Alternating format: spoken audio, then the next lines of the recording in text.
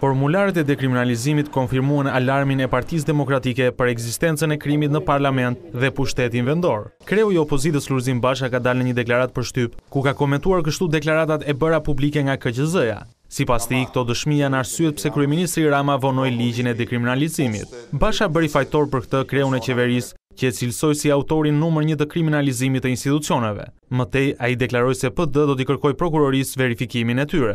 Këto të dhëna të para konfirmojnë katërcipërisht alarmin tonë të madh për ekzistencën dhe për përmasat kritike që ka marrë në qeverisjen e Edi Ramës promovimi në poste drejtuese i personave me rekorde kriminale. Treshja, Roshi, Bushi, Bardhi u kujtojnë sot në këtë ditë të së vërtetës të gjithë shqiptarëve, kumbarin, promovuesin, mbrojtësin e tyre të vendosur, Edi Ramën. Ky është në fakt autori numër një i promovimit të vetëdijshëm dhe të programuar të individëve me rekorde kriminale në politikë. Sipas Bashës, ka shumë përfaqësues të së majtës që nuk kanë deklaruar krimet. por që do të jetë aksioni i radhës i PD-së që do t'i zbardhë.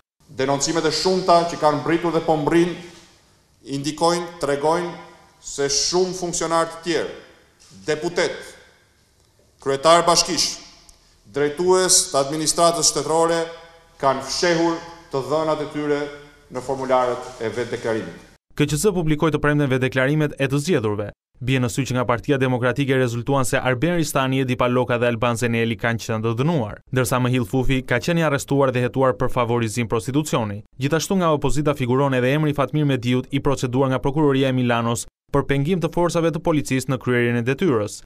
Nga deputetët e majtë figurojnë nëntë të proceduar penalisht.